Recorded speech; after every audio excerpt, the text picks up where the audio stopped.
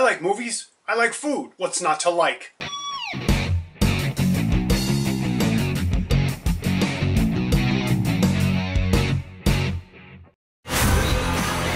我会用我嘅实力证明俾你睇，春风里嘅一间小店都可以出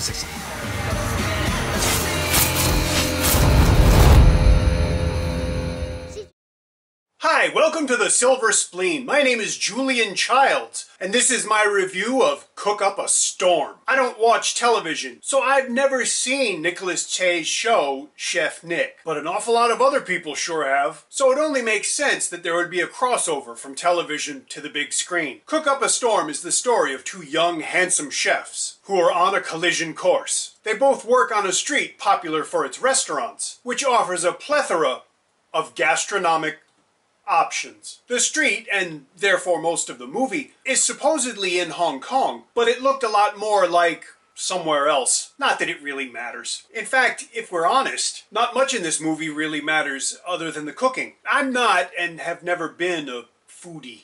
But I do like movies, and I have to say that the cinematography during the numerous food duels was pretty impressive. I'd call it cooking porn, but that presents a number of risks, none of which I like. Know what I like the most?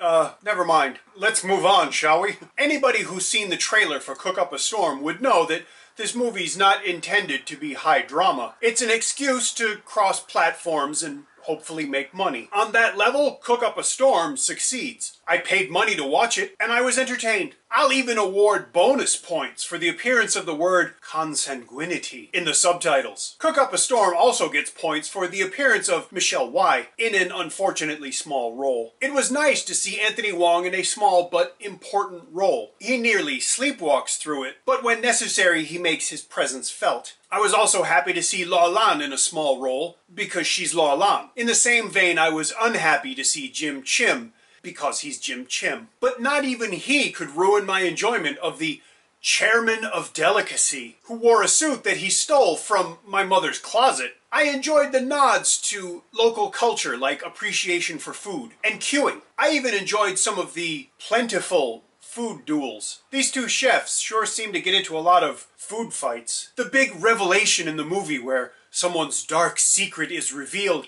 is kinda hamstrung by the utterly nonsensical, implausible, illogical nature of the thing. But it did make me laugh, so I got that out of it. A lot of the attempts at the film having some kind of emotional impact really kind of fall flat on their face because there's virtually no character development whatsoever in any of this movie. Any character development would have made the ending a lot more meaningful, or just meaningful.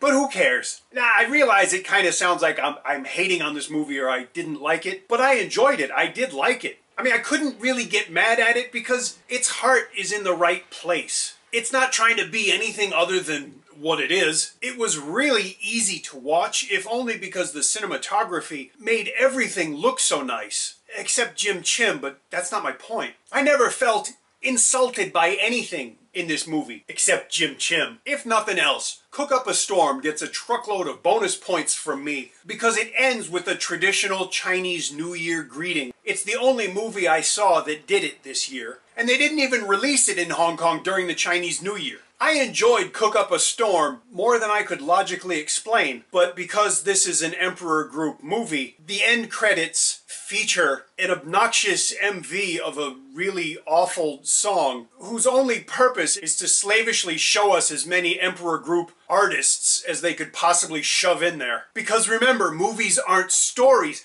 They're promotional opportunities. You know, other than that, in the end credits, I really did enjoy this movie more than I expected. But if you like food, then you would enjoy this a whole lot because the cinematography, especially of the food stuff, is just really impressive to me because if nothing else, you never get your face that close to something when it's cooking. But in this movie, you do. If you can see it on a big screen, do it because the food looks amazing that big and that close up. Otherwise, wait till you can rent this movie or buy a disc or somehow otherwise pay for the privilege of watching the movie. When Cook Up a Storm gets released to home video, I'll update the description with a link where you could buy a Blu-ray or a DVD. Also in the description, you'll find a link to my Patreon page because let's face it, these movies aren't expensive, but they're not free either. and I don't really get paid for doing this. If you enjoyed my review, please let me know. If you didn't, let me know. If you enjoy the channel, please subscribe so that I'll have more subscribers.